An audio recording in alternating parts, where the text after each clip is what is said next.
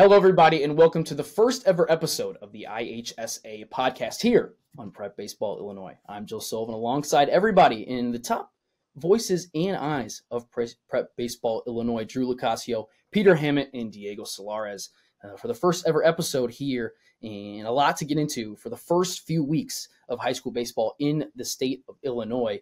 And we started off with the Kickoff Classic, which began on March 13th where we saw some of the top prospects and the top teams in the state of Illinois battle it out and all across uh, the state in the southern part as well uh, as the Chicago area.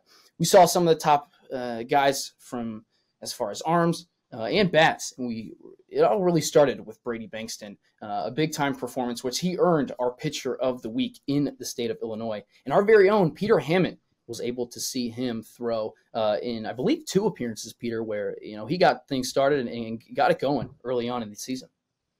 Yeah, I actually only saw the one performance, unfortunately, but it was the it was the beef of you know his the work that week, um, and it was a fun one.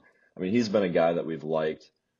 I think the first time I ever saw him was uh, in Rantoul this past summer. Just a big, long right-hander funky, deceptive delivery, low, like sidearm almost release that just comes at you from a super weird angle. Um, then he showed really well again for us at the state game. So he's kind of been someone that's been trending up for us. Uh, still an uncommitted senior, but he was, I mean, it was about as dominant as you can get. He struck out the first nine of the game, uh, three pitches for strikes, uh, finished five innings with no hits, 11 strikeouts total. Uh, just one walk, I think maybe one hit by pitch, but I mean, it was a lot of the same as what we saw, you know, the first few times we saw him, the same deceptive delivery, 84 to 86, and it's got a lot of late, like, arm side action through the zone. He goes to a, a sweeping kind of lateral slider that he'll flip in there around like the low 70s. Um, and he'll kind of just show that one, but he'll put guys away with the upper 60s curveball. But yeah, I mean, he was a fun one to watch. Like calm, collected on the mound, doesn't really let anything get to him. Um, and then he finished the week. Let's see, what was it? Seven innings, uh, 14 strikeouts, and just the one hit uh, and the one walk on the week. So really good week for Brady. Really happy for that kid.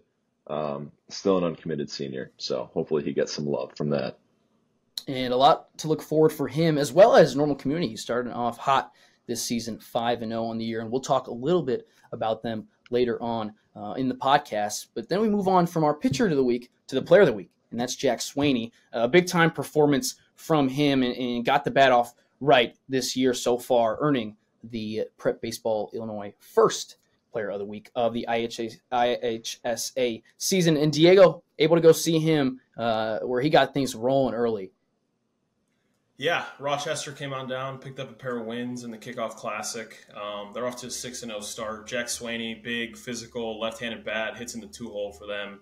Uh, go to Northern Illinois, um, 6'3", 225, pretty hard to miss frame.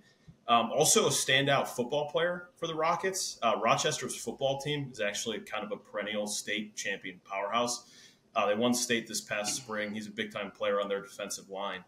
Um, earned our Player of the Week award, like you said, man. He went seven for 16, four homers, a double, 10 RBIs, six runs scored.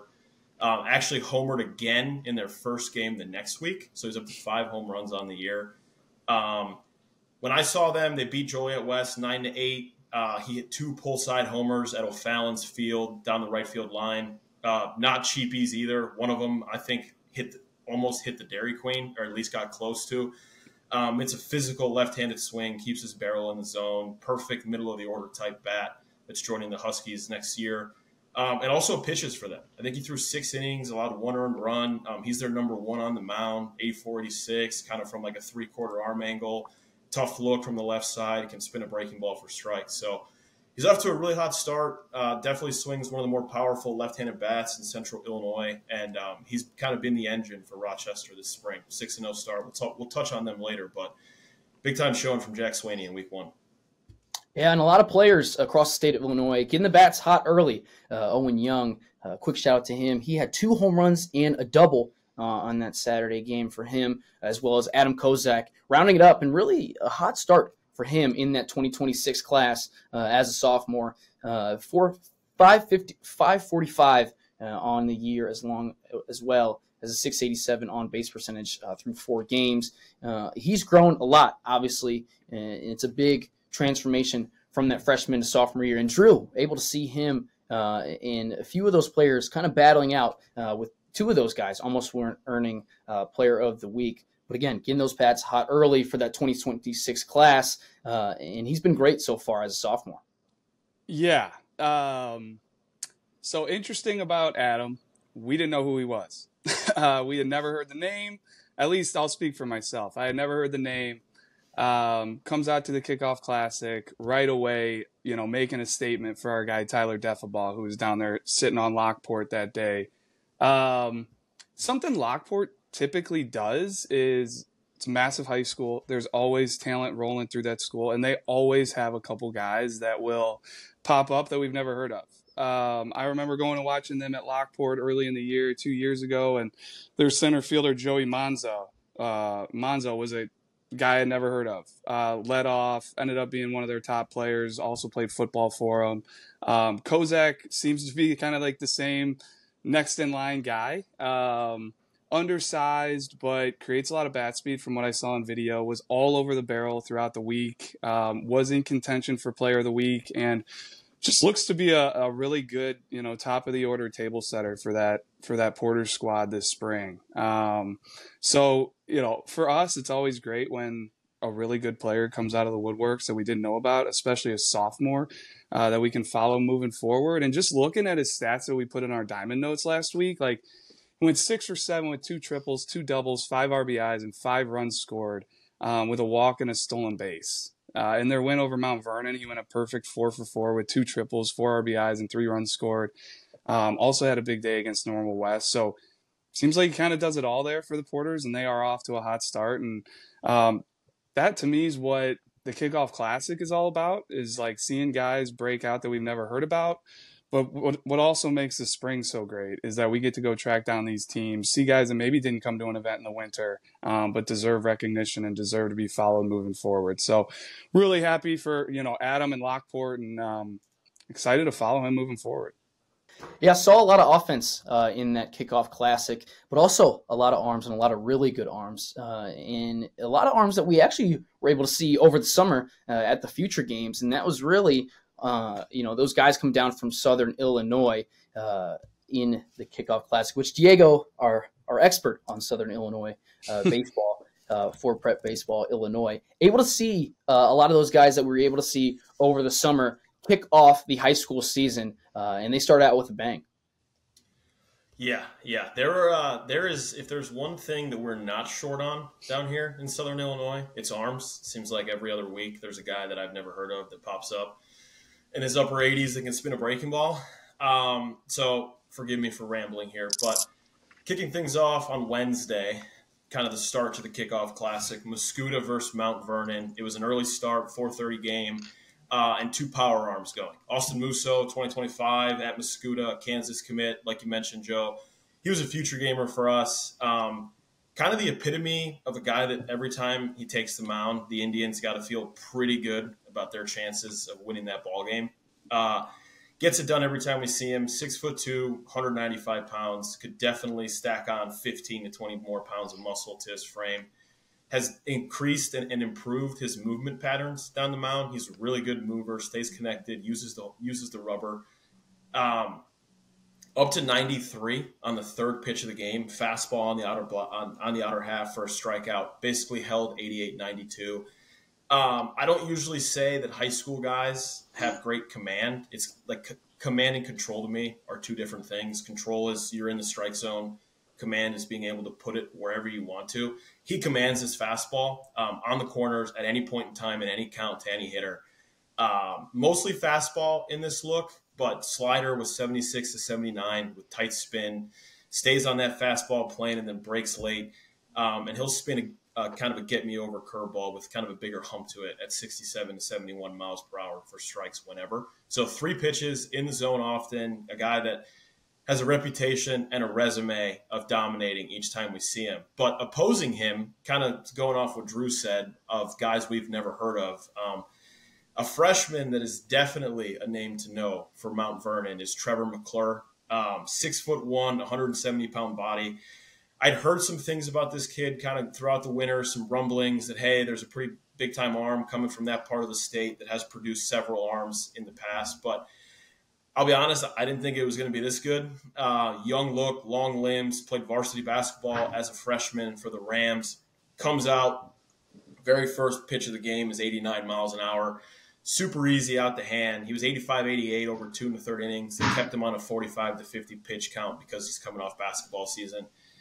Really clean and easy out the hand, man. It's loose, loose on the backside, comes out real good. He, he's going to be a guy that is going to start throwing real hard once he gets you know more comfortable with his body and and continues to add strength onto his frame. Um, and he was spinning a pretty good breaking ball with some sharp late spin that flash, swing, and miss upside at 74 to 76 miles per hour. The biggest thing with me for that was in two one counts, in three one counts, he would turn to it in, uh, to the middle of the Mascoutah lineup because he knew that he couldn't just get a fastball by them, uh, which is pretty advanced confidence for a freshman to be doing that with his breaking ball in his first varsity start ever.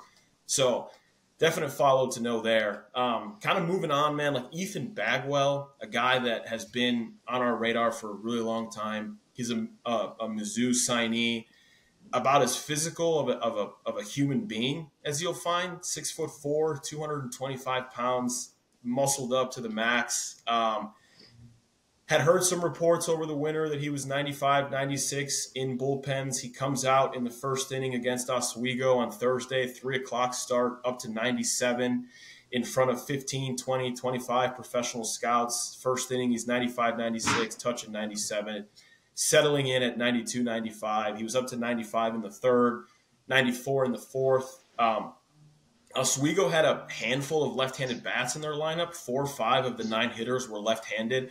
So he was actually showing an 86 to 88 mile an hour changeup with hard run, something I have, have not seen from him before, um, and feel for it too, like spawning it on the arm side corner. Uh, and then, you know, first time through the lineup, first three innings, he was mostly fastball changeup. That fourth inning, started to throw his slider more. I think I counted seven or eight of them in the outing, 88 or 80 to 81 with some downhill tilt to it. That's a pitch that to me personally has has shown swing and miss potential in the past. So, uh, big kid throws hard, not super efforty, controlled mover, starting to show more off speed feel. That's a guy the pro guys are going to see throughout the spring um, for sure. Uh, and then kind of just wrapping it up here with two more future gamers in Connor Blue and Andrew Winslow. Uh, Connor Blue, O'Fallon's number one arm, uh, Cincinnati commit was a guy that came to the future games for us and and and, and really turned some heads with his polish and and, and spin feel. Uh, strong kid, good mover. Touched 91 twice in the first inning. Basically pitched at 88-90 over three innings against Brother Rice for O'Fallon. Gave up one run, punched out a few. Uh, but the separator for him that, that really kind of makes him different is is the breaking ball. You'll see it in in the video, man. It is a sharp swing and miss pitch. For my money, it's as good as any breaking ball in the entire state. Uh, he'll throw it anywhere from the mid to upper 70s. Confident in it. Again, we'll throw it 2 0, 3 1, 2 1. Uh, in, in, in fastball counts, he's flipping over that breaking ball for strikes and for swing and miss. Um, and honestly, I've seen him throw a changeup to left-handed bats too in the low 80s with fade and feel for it. So, starter profile for Connor Blue, uh, and then Drew Winslow. Talk about unique um, six foot six, 195 pounds, long, lanky limbs. Um, he's a basketball player for Triad, averaged 14.6 points per game, 5.4 rebounds per game for the Knights this past winter on the basketball court. Um, another future gamer. He was up to our Oklahoma State commit to. He was up to 91 in the first inning. Me, coming off basketball season, is pretty noticeable. Um, at this time last year, I saw him and he was up to 89. So taking a two mile an hour jump, but honestly, probably more impressive is the fact that he basically held 88 to 90 with his fastball, touching 90 in the fourth inning, his last inning. I think it was pitch number 69 of the game. He was up to 90.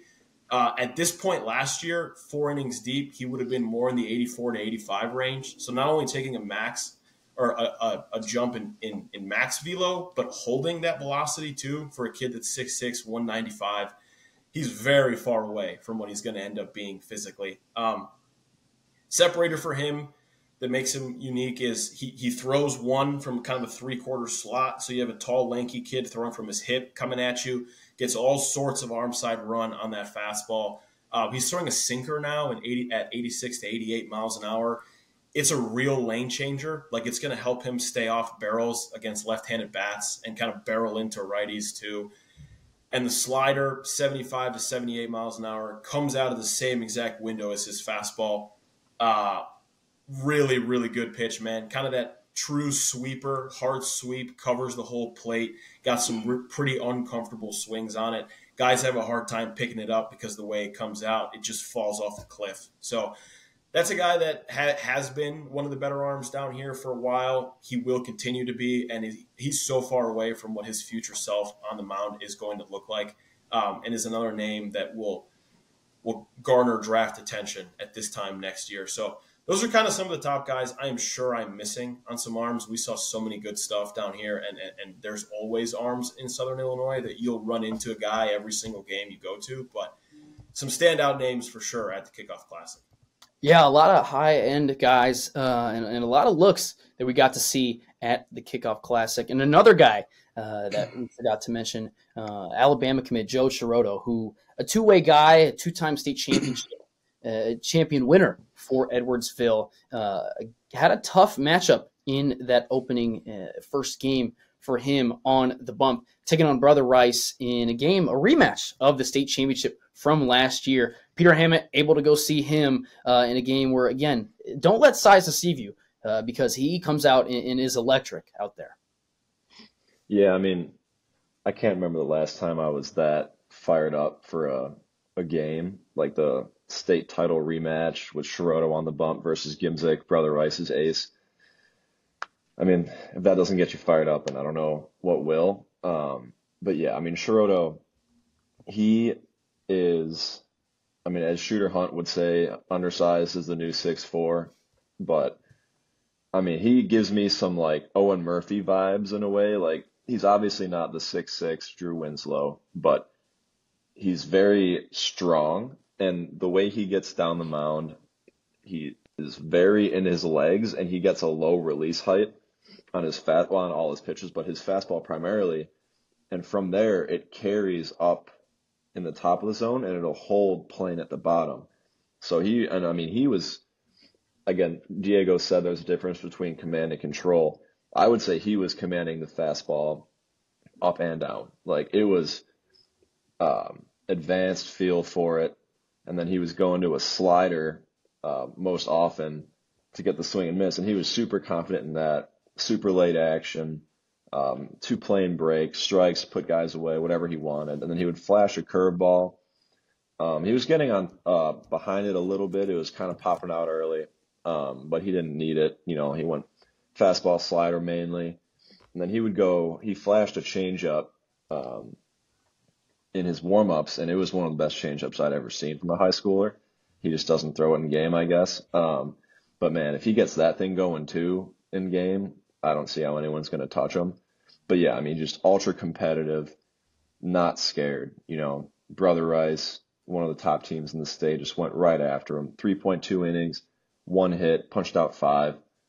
And, and then the, the inning after he came out of the game from pitching, he went over to center field and Diego was watching it with me. He, from his back foot, throws a guy out at third base, just like no problem. So he's a really fun one for me. Um, and just the way he's able to repeat his delivery, um, the athleticism, the balance he has, like that dude's gonna throw strikes. He's gonna he's gonna keep throwing harder. Uh, there's just a lot of arrows pointed up for Schroeder for me.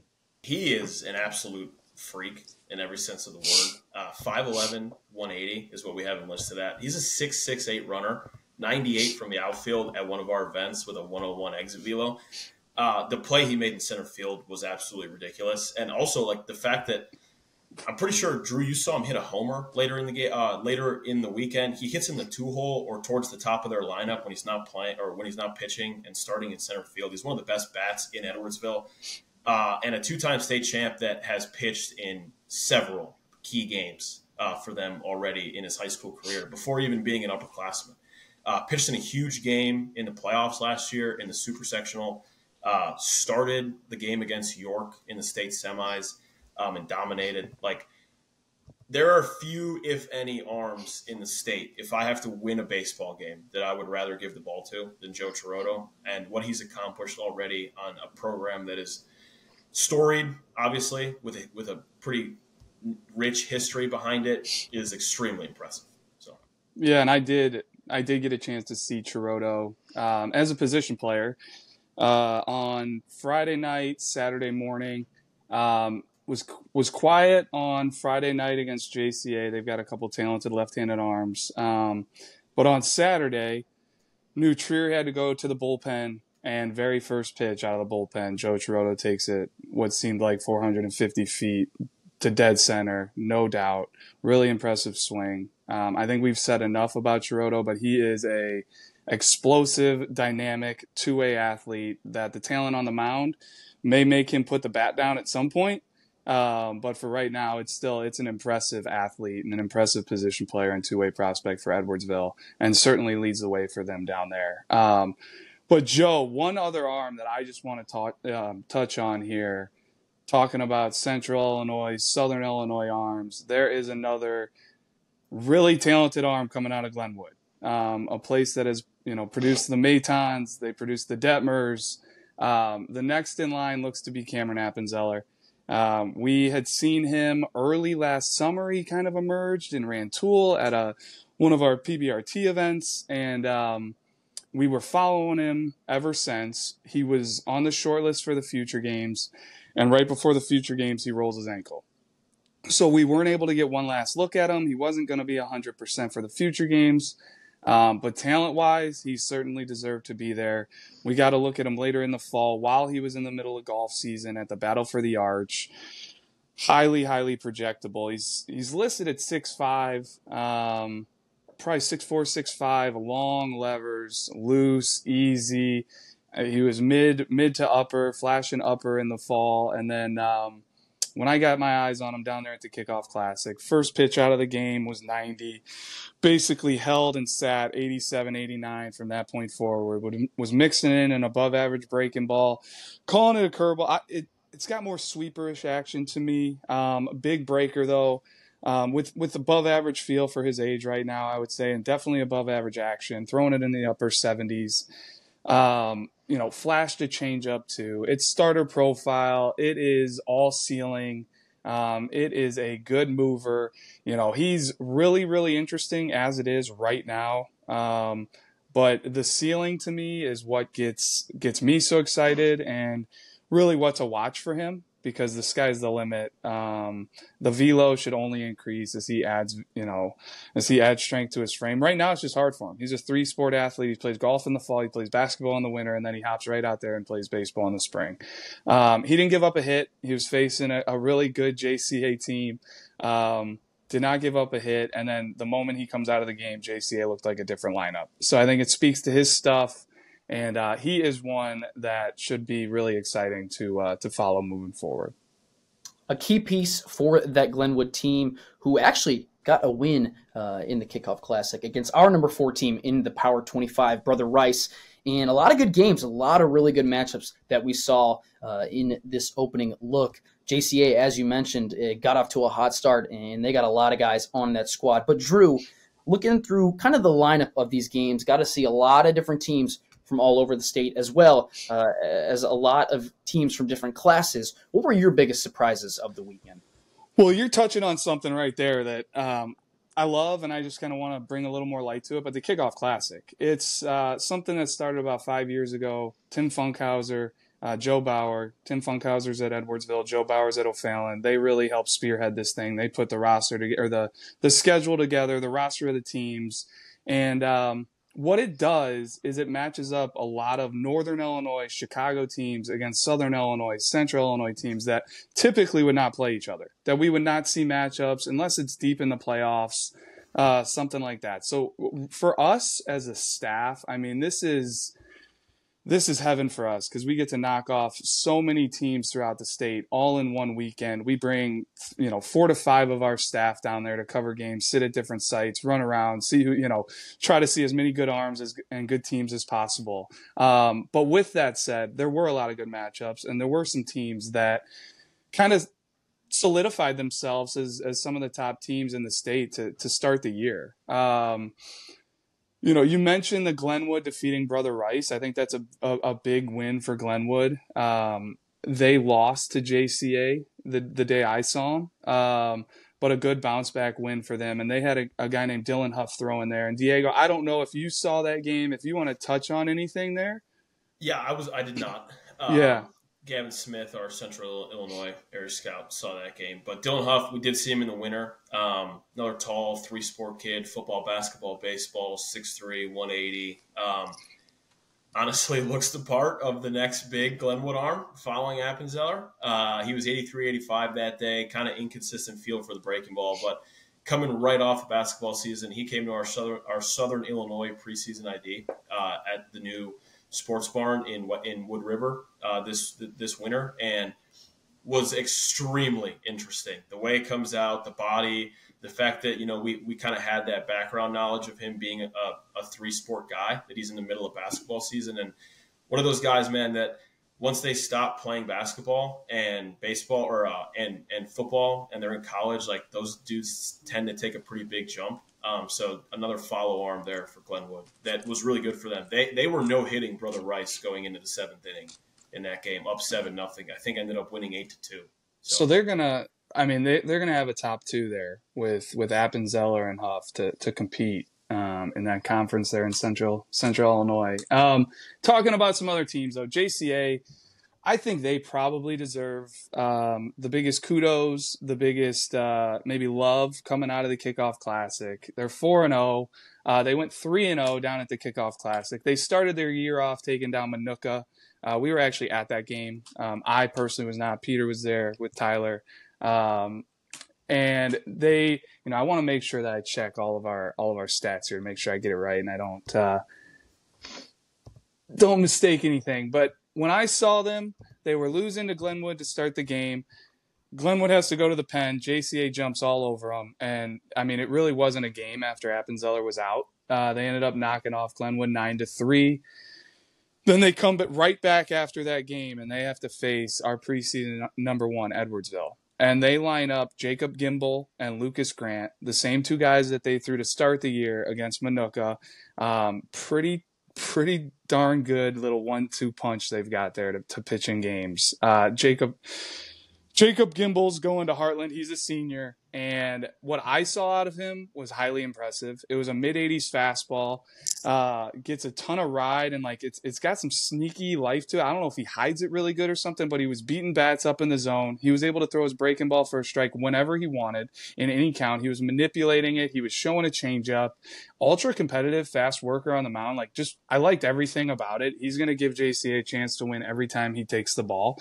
Um, and then, you know, he goes three innings who do they bring out of the pen? An uncommitted lefty, Lucas Grant, who was equally as impressive. Uh, different. He's got a different style uh, to to the, the, way the way he pitches. Um, he more sinks it and runs it and tries to pitch at the bottom of the zone. Almost all of his misses were down. Um, he very rarely was up in the zone, and he was playing like a a firm, short, horizontal slider off of his fastball. Um, but he's an uncommitted arm that popped really this winter. We saw it at the All State, um, where he was one of the better movers on the day, filled up the strike zone with strikes, was up to 90, I want to say that day. And when I saw him, I'm just checking my notes here um, on Lucas. he was throwing his uh, he was throwing his fastball basically sitting 87 88 but he was touching some nines and touched it touched 90 one time he throws his slider at 77 78 um, and dominated. He dominated. Uh, him and Gimbel both. I mean, they cruised. They were in total control of the game. It was highly impressive. Given the arms that JCA has, they are going to be a, a team to be reckoned with. Because um, the name we haven't even mentioned is Aiden Hayes. Um, Aiden Hazy. Forgive me if I'm pronouncing it wrong. Um, but you know, he started against Glenwood only through two innings, flashed high level stuff. Um, it wasn't con- inconsistent. You know, the control was hit or miss. Um, but he's got, you know, a fastball up to 93. That's what I saw that day, basically sitting 91, 92.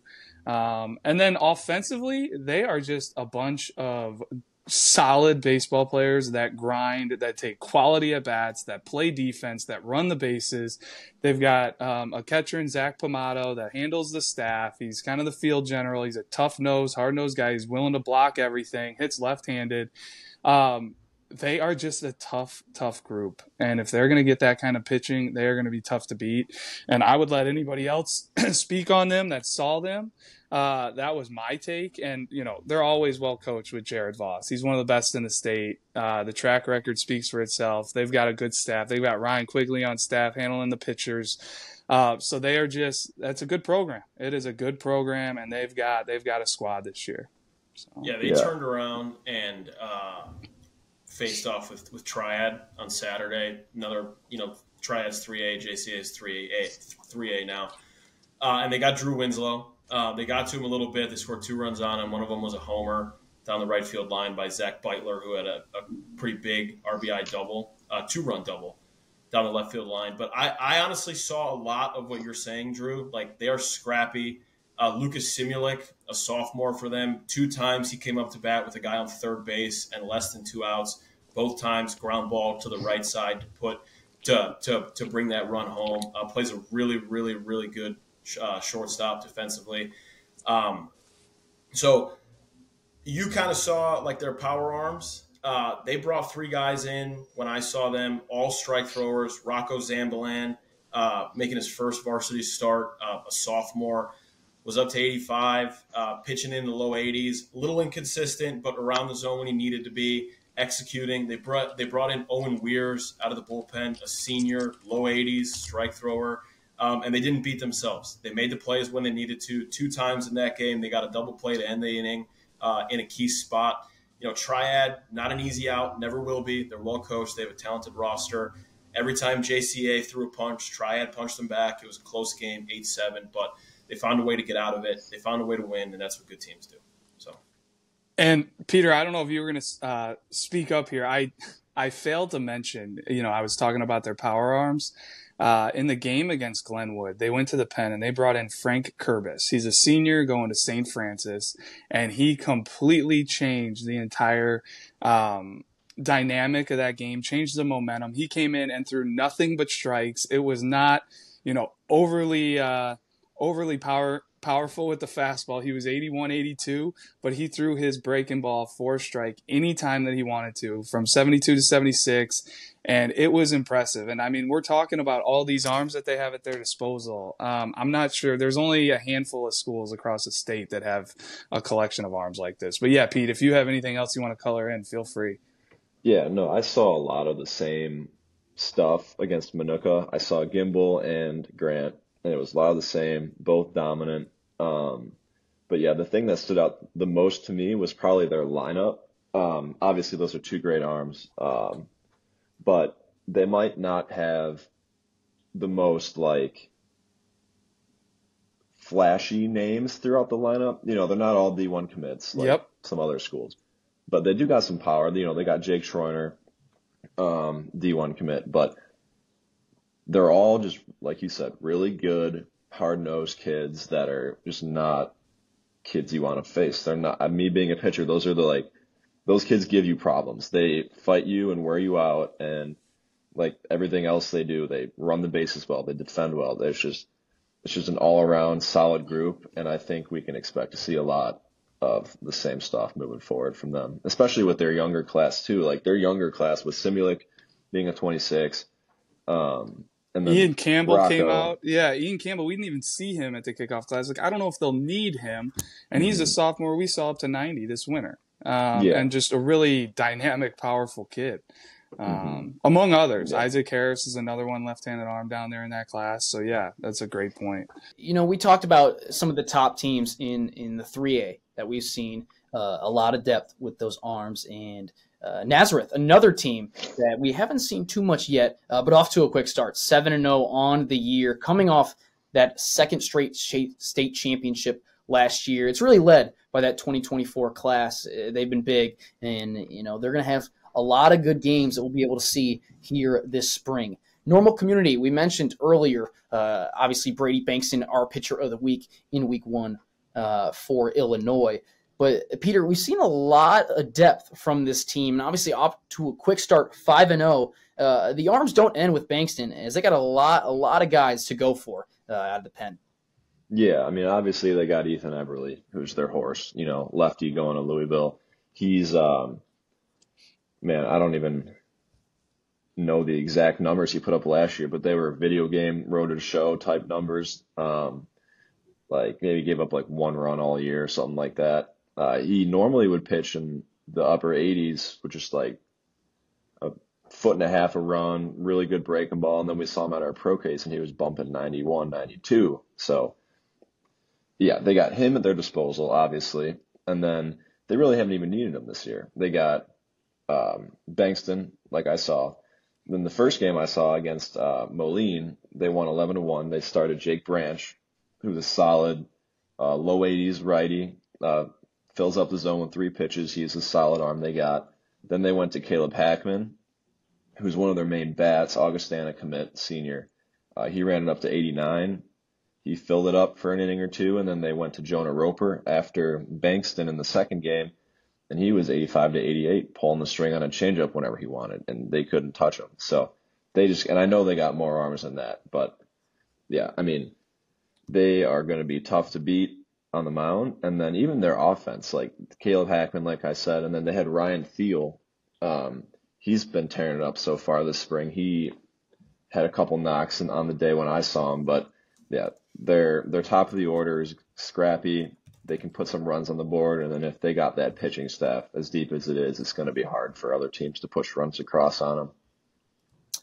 And for a few of the other teams that we saw uh, in the kickoff classic, obviously some of you know some teams that we saw uh, in June in state championship, Edwardsville and Brother Rice uh, again faced off in that 4A state championship. We saw, as we mentioned before, uh, Diego. It's been a tough start for them. Obviously, super well coached uh, with those two programs, and again, they they don't uh, aren't afraid to really schedule against any team in the state of Illinois. But for them, obviously, they squared off uh, early on in the year. Those are two programs to watch, um, despite the slow start for them. The one quick nugget I'll, I'll drop here on, on Edwardsville is is kind of what you mentioned. Like they, they are not scared to to play anybody. Uh, they, they schedule themselves to play against Joliet Catholic, Brother Rice, and, and, and New Trier, all teams that are in the top six of our Power 25. Coach Funkhouser will play anybody at any point in time. Year over year, their schedule is is really tough. They they double dip and go into Missouri too. They played De Smet, which is a program that has perennially had success in Missouri. They'll play Francis Howell, which is basically the Edwardsville of Missouri.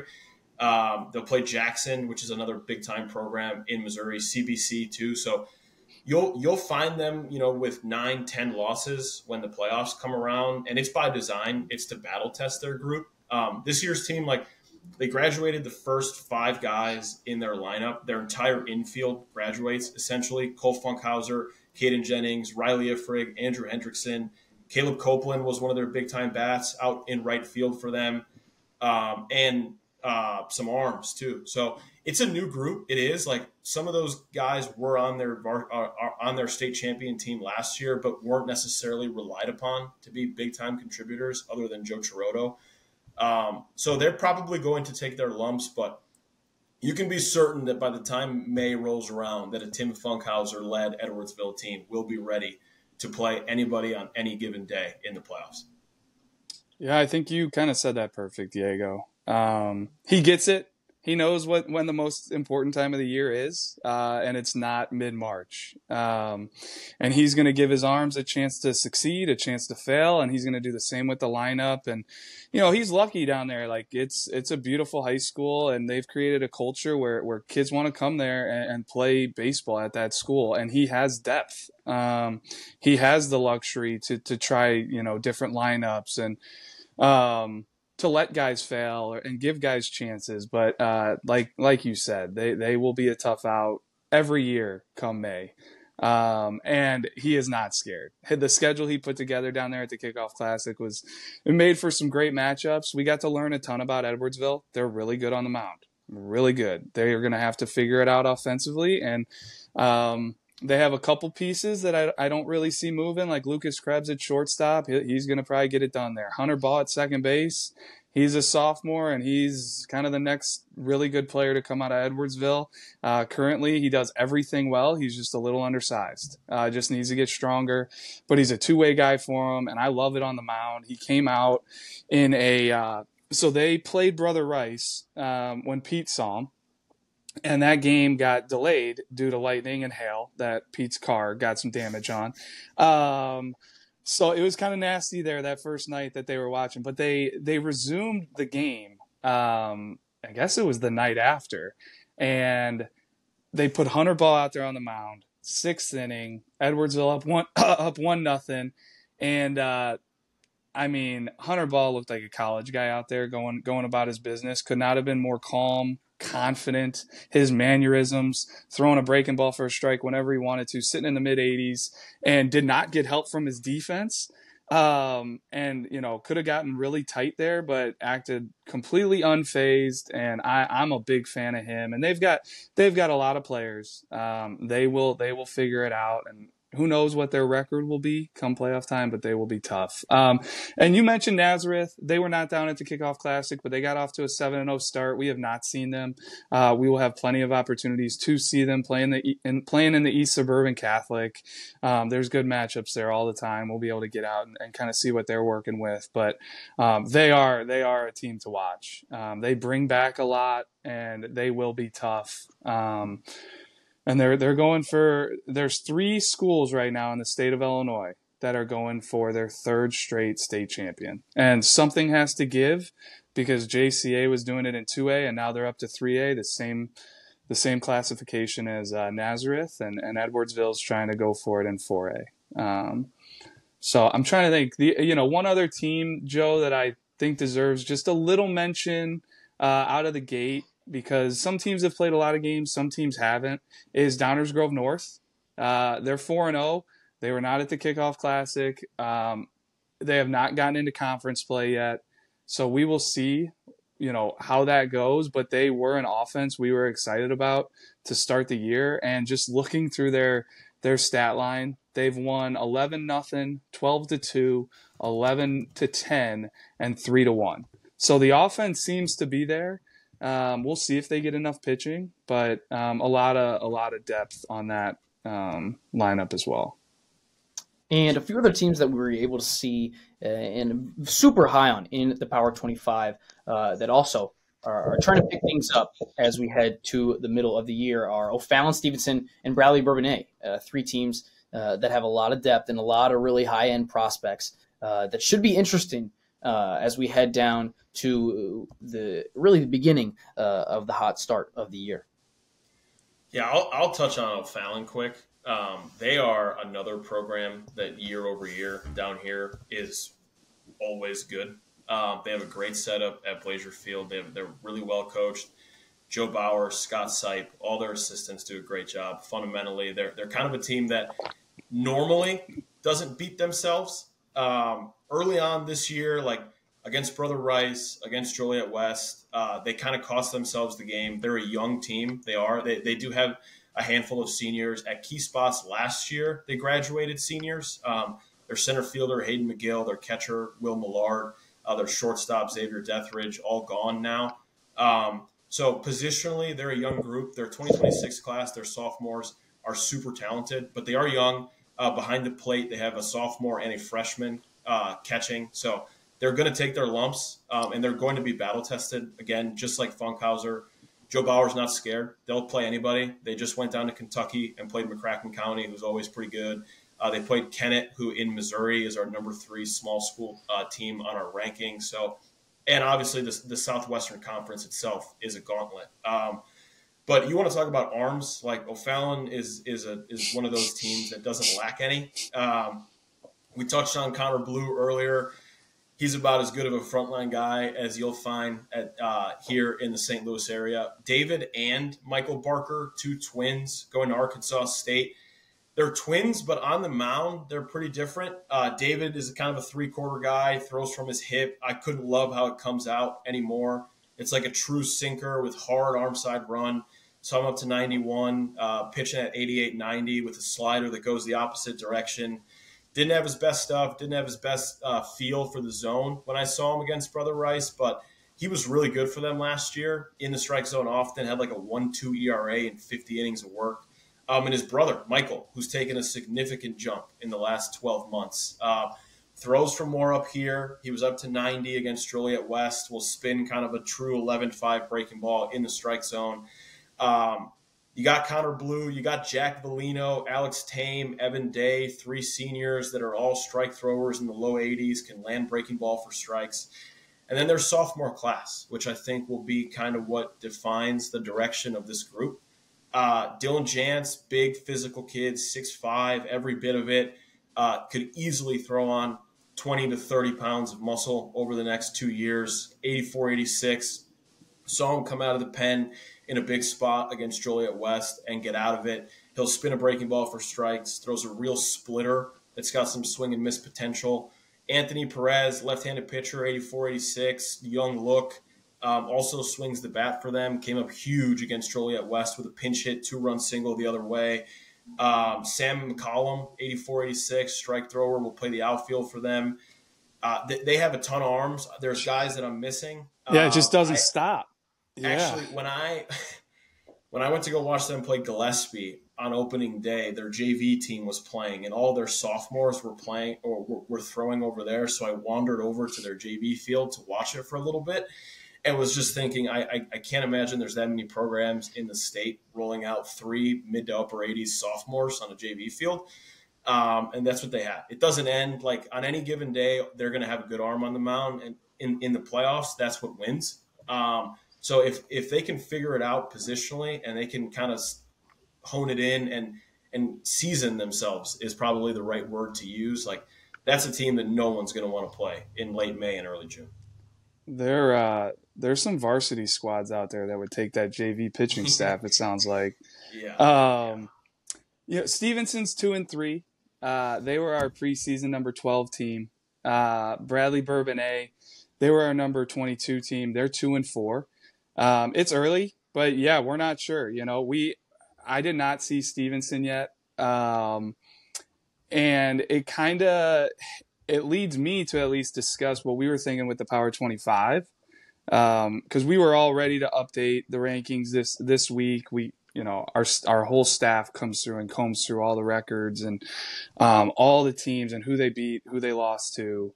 Um, and we were looking at our spreadsheet today, and it's just it's hard. It's it's eh, you know Nazareth has played seven games. They're seven and oh. and a team like Lake Park, who is our preseason number eighteen, they haven't played a game yet. They're opening up on their spring trip, which they're taking right now.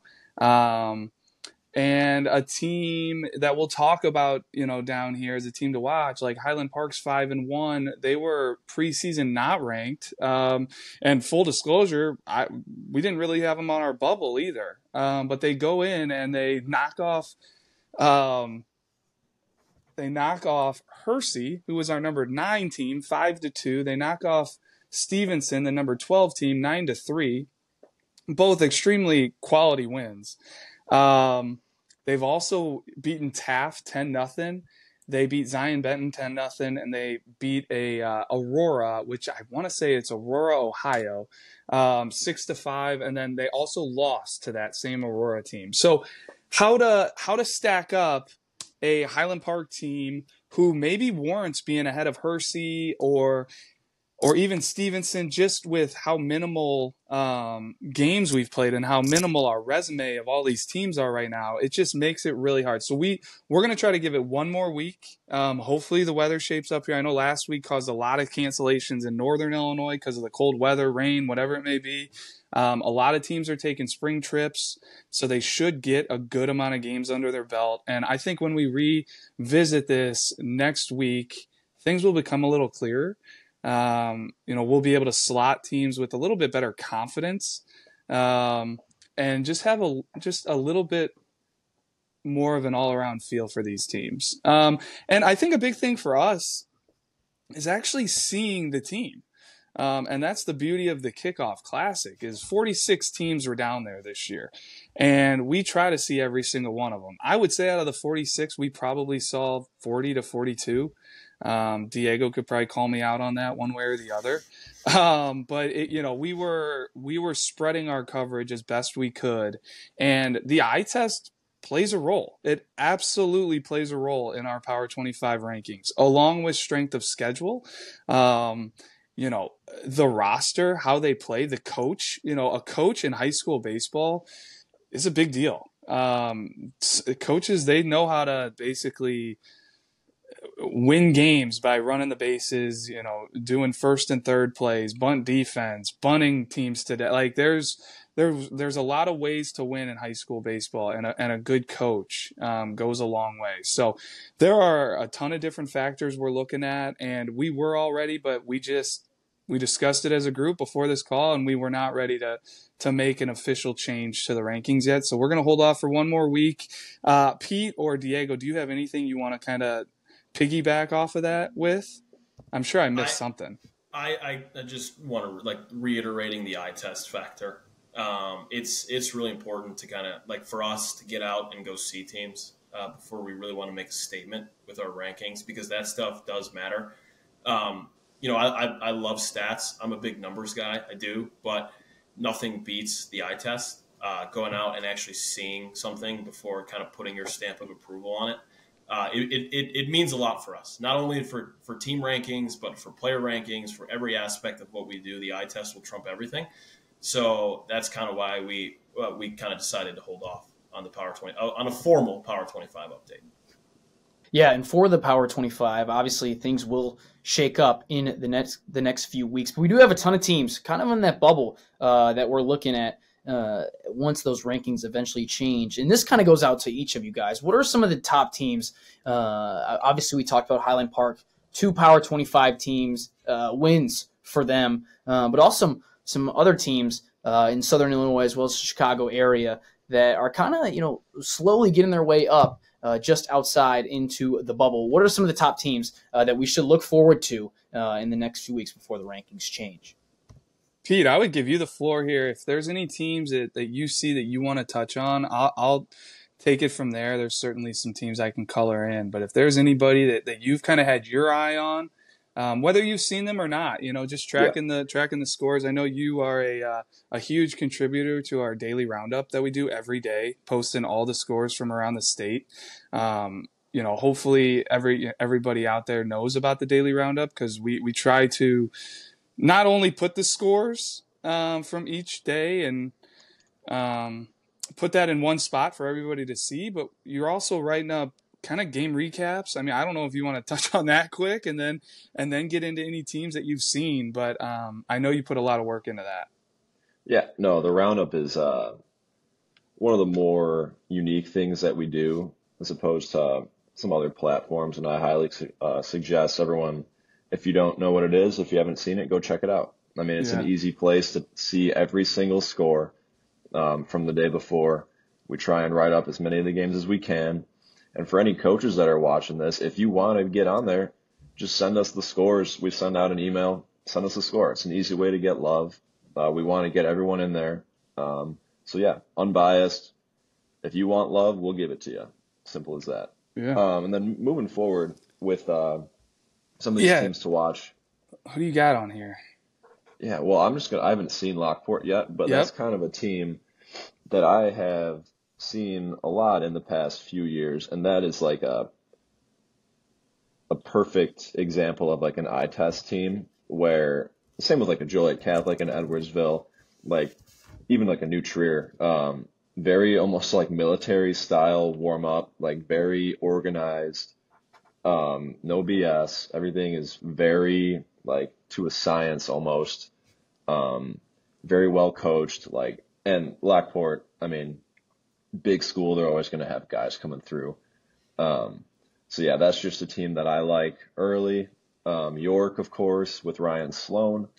Um, Yeah, the they were a team we were looking at as a potential power 25. And I know, Yeah. you know, one dynamic with that, it's a little unique. Uh, most schools don't have to deal with it, but they do have Ryan Sloan, and he's a potential first round pick. And, you know, when you're a, a prospect of that caliber, um, there's some there's a lot of ears a lot of voices that that have say on on how he's handled in the spring and i know he'll be on a tight pitch count so um that that could factor into just their record early on in the year and how they do. But with that said, even if he's on a tight pitch count, they're three and zero to start the year, and I know he's taking the ball today. Um, depending on the weather, he was going to match up against Lincoln Way Central and Luke Menzick. Um, but sorry to sorry to cut you off. I just No, you're good. that's uh that's definitely a team that we've been we've been following close because they made a run last year as well to state. hmm Yeah, so that goes into that for sure. They made a run to 4A State, which says a lot. You know, highest division.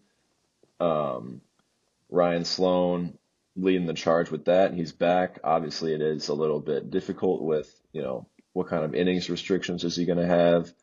Um, because we don't really know, so Yeah. have to play it safe almost. Um, but they are a very good team.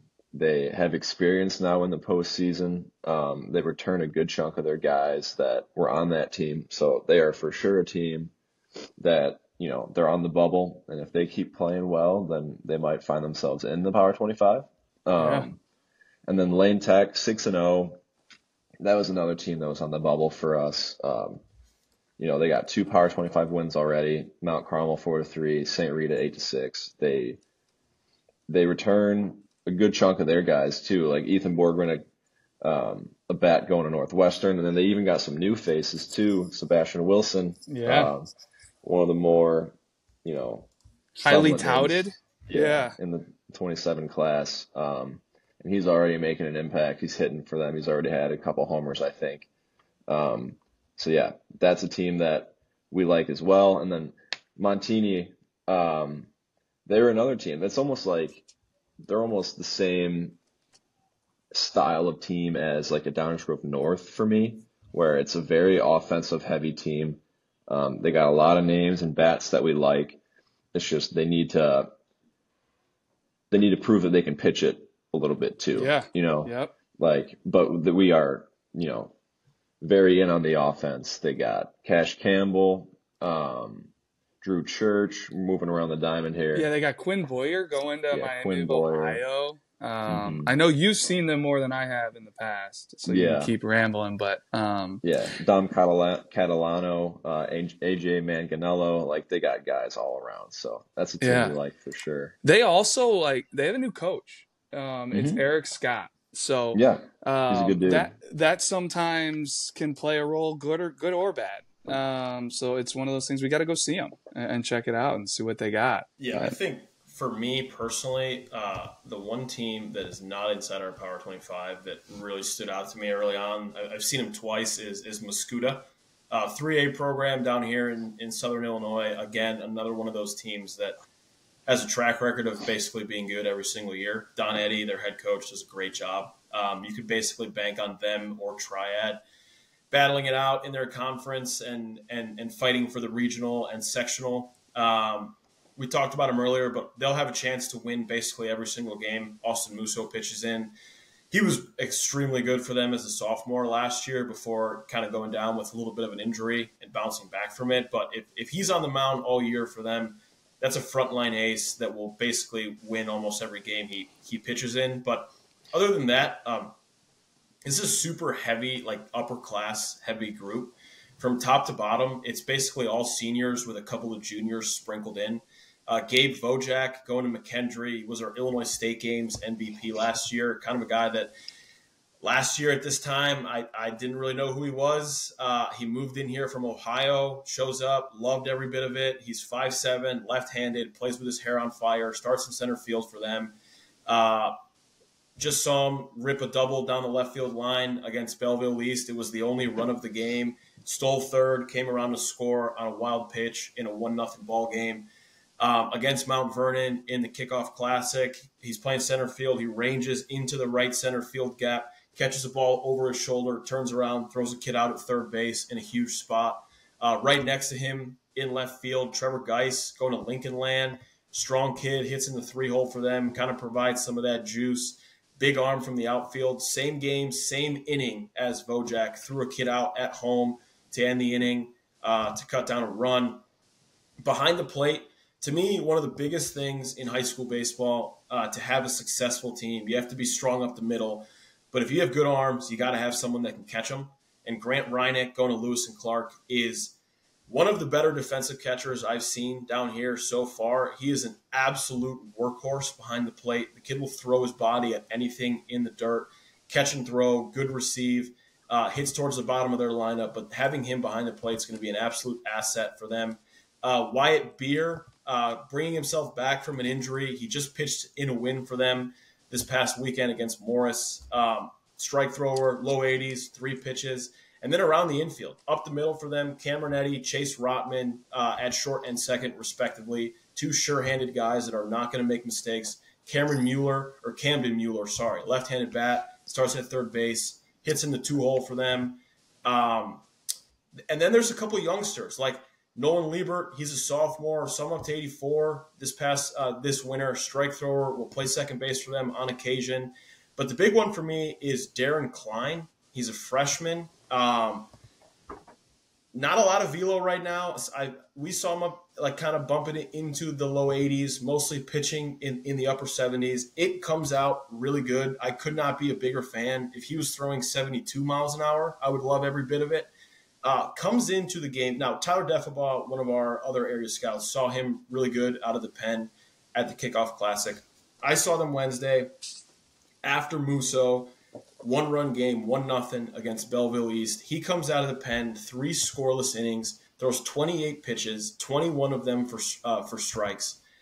For a freshman to do that in a tough game, they threatened a little bit. He shut it down right away, landing a breaking ball for strikes. If that kid continues to mature for them, with how experienced they are as a group, that's a team that does all the little things right. They take the extra base. You can basically bank on if it's a tight game and a leadoff guy gets on, they're going to bunt him over to second base and find a way to get that runner in. They're well coached. They do all the right things. is going to be a team to watch.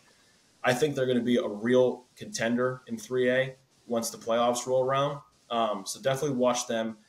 Joliet West, we briefly touched on some of their guys. Owen Young, um, they've scored 66 runs in seven games. They're averaging nine runs per game right now. The top of that lineup is an absolute gauntlet. Owen Young, James Love going to Eastern Illinois, Jimmy Anderson going to Heartland Community College, Kale Karchewski going to Jeffco in Missouri. Around the infield, they're really good. Um, you know, the top of their lineup's got some juice. James Love coming out of the pen, pitching in the upper 80s for them. Jimmy Anderson started against Rochester, 85 87, spinning the breaking ball for strikes. If they can get consistency on the mound with that lineup, they're going to definitely make some noise on any given day to be able to throw up eight, nine, ten runs in bunches. Um, Monticello, they won 22 games last year. It's a 2A school. They're 10 and 0 to start the year, which having already 10 games under their belt is really impressive given how young we are into the season and and, and the weather. But they got Luke Teschke, man, going to Illinois State, Super 60 participant, uh, about as good of an arm as you'll find. Four pitches, all strikes, 88 92, all state quarterback in the strike zone often. I will venture to guess that they'll win essentially at every game he's on the mound. Colton Vance, Eli Kraft behind the dish. Ike Young is a good little young arm to know there. Looking like a real good 2A squad. Uh, we touched on Rochester earlier when we were talking about Jack Swaney, 6 0 to start the year. They won a regional last year in a tough regional. Um, I would expect them, again, Matt Carlson, their, their head coach, he does a great job there. Um, and then Effingham, they're five and zero. Oh. You want to talk about arms? They always have guys come out coming out of there. Josh McDevitt's at Mizzou. They had another arm that I'm forgetting about uh, that Drew you could probably touch on here in the past. That's been really good.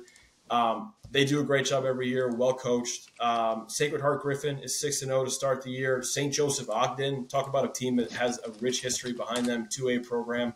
They're seven and one, and then down here in Glen Carbon, Father McGivney seven and one. They were two A school last year. They went to a super sectional before running into Columbia, who's went to back to back state titles and had probably one of the best players, if not the best player in the state last year, in Dominic Voegele, uh, who's the Saturday guy at KU now as a freshman. But they're actually 1A this year. And that's a 1A program with a 3A, 4A roster. They're really deep. They're super loaded. One through nine, it's a tough out. Drew Kleinheider, Cannon Camp up the middle, Nicholas Franklin behind the plate, Isaac Wendler at first base, Nicholas Terhar playing third base for them is raking so far. They got strike throwers on the mound. Camp will pitch for them. Wendler will pitch for them. Mason Holmes, low 80s, four pitches, all in the strike zone. Riker Keller going to University of Concordia, Chicago, comes out of the pen, mid 80s guy that can spin a breaking ball for strikes. So I would expect the Griffins to be the 1A favorite right now. They're going to play, you know, they, they do schedule themselves against some 2A, 3A competition. Coach Chris Irwin, they do a great job there. So there's a lot of teams to watch down here in, in, in, in central and southern Illinois. They're itching to kind of make their way into the Power 25. That's uh that's a good recap there, Diego. It's uh it truly is really impressive how many arms um, are just down in that area right now and always. And you mentioned Effingham and uh, big leaguer out of there, Chad Green. Um, they've got a couple arms that have come out of there, Jackson Lee and Zach Lee. Zach went to Kentucky and, and Jackson went to John A. Logan. Um, I actually pulled him up because I didn't want to miss. Um, you mentioned Josh McDevitt. Um, Ben Hecht out of there went to Wichita State. Like they, it's it's another one of those little small pockets that uh, just seemingly always has arms coming out of there. So um, you know, a couple other schools just since we didn't update the Power 25 that are are making some hay here. Uh, we mentioned Highland Park five and one with two Power 25 wins. Andrew um, was a team that somewhat on our radar. We did get a good look at some Andrew guys. Um, this winter at our preseason ID events, a couple guys with some good bats, and they're five and zero uh, with a seven to four win over number seventeen Mount Carmel. Fenwick, who made a super uh, super sectional last year, they're five and zero to start the year, and they return a lot. Um, Lincoln Way West, who was basically a mainstay in our top ten all of last year, they're off to a three and zero start. I think they open up their spring trip at uh, LakePoint today but they're a team to watch. Um, they're going to be without Crafton for a while, but they still they bring back a lot of guys. They got Connor Essenberg leading the way, Lucas Acevedo, and plenty of other names to to go around.